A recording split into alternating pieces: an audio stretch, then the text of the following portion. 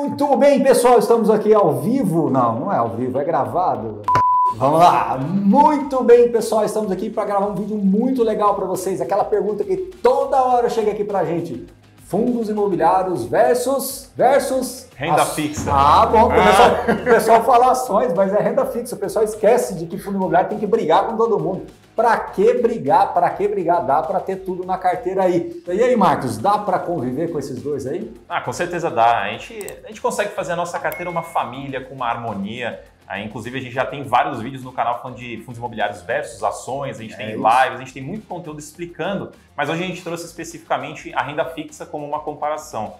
E a gente pode, e em muitas carteiras deve ter ambos, porque ambos cumprem um papel diferente fundos imobiliários já começa que é renda variável, renda fixa, obviamente, é renda fixa. Então, por si só, já não são comparáveis quando você quer fazer, ah, um é melhor que o outro.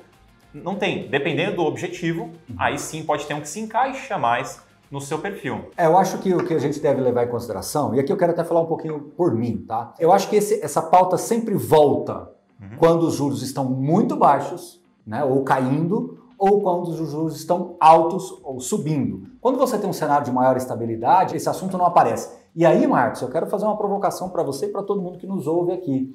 É, é um assunto do Brasil, né? O Brasil se discute muito isso justamente porque os juros aqui sempre estão se movimentando de uma maneira muito agressiva. Se em algum momento, e tomara que isso aconteça, o Brasil tiver um cenário de juros mais estáveis e que a volatilidade, né, a, a, as bandas dele ali variar pouco, eu acho que esse assunto perde esse valor. Por quê? Porque todo mundo sabe que o fundo imobiliário ele é um instrumento de renda variável que tem uma característica previdenciária e que a renda fixa ela tem um propósito que vai variar muito de acordo com o perfil do investidor. Então, aquele perfil de investidor um pouco mais conservador, ele vai ter uma exposição maior à renda fixa porque ele quer menos volatilidade e mais previsibilidade. Quando você está olhando aí para renda variável, fundos imobiliários, ou seja, mesmo ações, você está buscando retornos maiores do que os ativos de renda fixa. Por isso que é comum, embora eu não concorde tanto, mas é comum as pessoas seguirem aí comparando sempre os fundos imobiliários com o CDI+, com o IPCA+,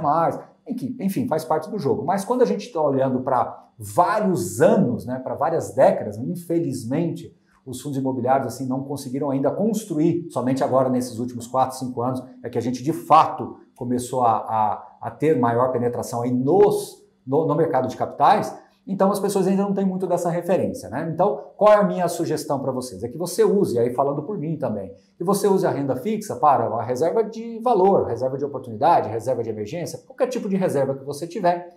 E aí você divide em dois grandes blocos. O primeiro, aí sim, o maior de todos os blocos, por uma grande reserva dentro da sua carteira. E um outro, uma fatia um pouco menor, para aquela posição mais ágil de caixa, de subir para pagar ali uma conta ou mesmo algum ativo que você precisou comprar e precisar honrar aquele compromisso. E aí, de repente, você recebe os seus dividendos da carteira, Marcos, não, não sabe muito bem o que comprar, volta para essa renda fixa de acesso rápido. Eu acho que essa com liquidez imediata praticamente. Né? Então, na minha opinião, aí, entre 2% e 5% nessa, nessa, nesse caixa rápido, mais ou menos aí 10, 15, 20% nesta composição de renda fixa, pensando em reservas e até para diminuir um pouco a volatilidade da sua carteira, e o restante para renda variável, que aí sim cada um vai ver o quanto vai ponderar para fundos imobiliários, outros tipos de investimentos, tudo bem. Agora, veja, eu estou falando por mim. Isso não quer dizer que você que está aí nos ouvindo vai ter essa mesma composição. Como eu sempre falo, não existem carteiras iguais. Por exemplo, vamos perguntar aqui para o Marcos: a sua composição é mais ou menos assim, um pouquinho diferente para mais? Como é que é, Marcos? Então eu tenho a minha reserva de emergência, obviamente, isso é uma pequena parcela do meu patrimônio que fica lá em renda fixa, separado, não considero nem como investimento, que é mais algo necessário em urgências, então tá lá.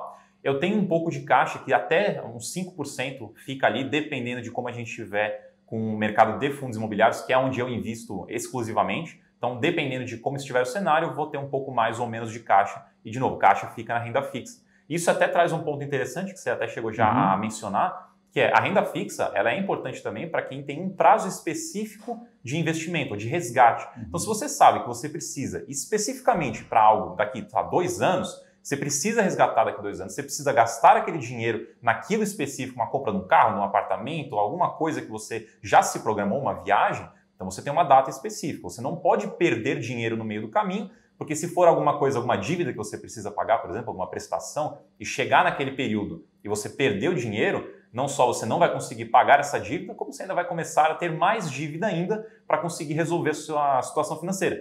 Então você precisa de uma certa garantia de que você vai ter esse dinheiro. Uhum. E em termos de garantia, o que a gente tem mais próximo é a renda fixa. Você vai ter lá aquele, aquela taxinha acordada que quando você contratou aquele título, você vai ter no final do período. Em fundos imobiliários ou outros ativos de renda variável, você já não tem essa garantia. Se o mercado acaba tendo um problema, eventualmente no meio do caminho, ou exatamente na data que você precisava do dinheiro, você pode acabar tirando menos do que você precisava. Aí você se complica. Então, é importante você entender que renda fixa também cumpre esse papel de quando você tem um prazo específico. Quando a gente fala de investir em renda variável, a gente pensa em longo prazo, sem data específica. Vou investir, vou crescer meu patrimônio para eventualmente lá na frente eu desfrutar. É. Pelo contrário, até não tem data mesmo. quando você monta uma carteira de fundos imobiliários ou ações, enfim, de renda variável como um todo, você está olhando na perpetuidade, é de você acumular patrimônio, usufruir da, dos rendimentos desse, desse, dessas cotas que geram dividendos, rendimentos para você, e no futuro você passar isso para né, a sucessão natural aí para os seus herdeiros. Mas, Marcos, para a gente concluir esse vídeo, eu quero deixar uma provocação aqui bem legal para todo mundo.